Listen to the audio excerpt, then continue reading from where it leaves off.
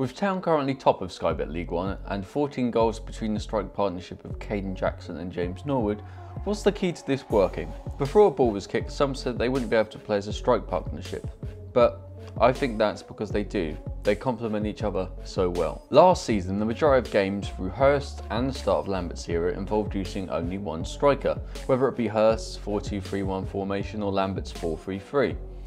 Before Collin Quaner joined in January on loan from Huddersfield and Ellis Harrison got injured, Kayden was deployed as a solitary striker in many games and found himself struggling.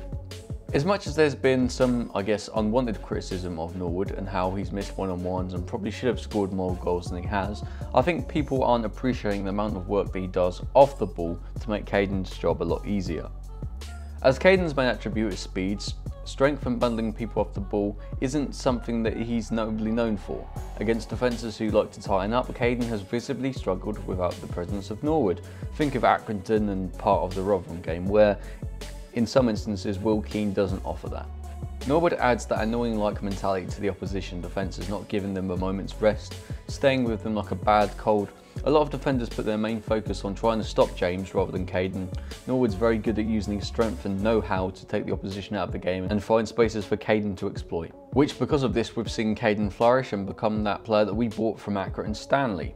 As long as we continue to play them both up front throughout the season, we will continue to appreciate the underrated work that Norwood does that doesn't involve scoring goals when we see Kayden thrive. It doesn't take a rocket scientist to look back on the last season and see how much he struggled without a strike partner, when many fans were calling for the 4-4-2. Hopefully this season has given fans and PL a glimpse of the devastating power that Norwood and Jackson can have up front. So that's the magic of Norwood and Jackson. If you like what you see, uh, don't forget to subscribe, like, and comment on this video.